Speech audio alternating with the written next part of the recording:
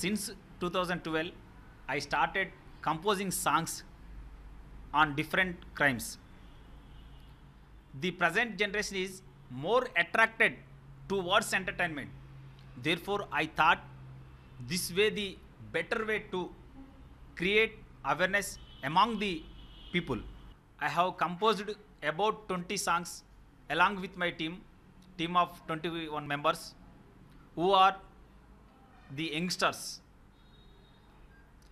My inspiration for doing this this is my Commissioner of Police Sri Mahesh M. Bhagwat sir, who has made sure he was always there to guide to me in composing songs. There has been positive response from the people on the initiative. People from both the Telugu speaking states have appreciated all the songs which went viral on social media. My next target is to reach out all the people in our country and spread awareness on the same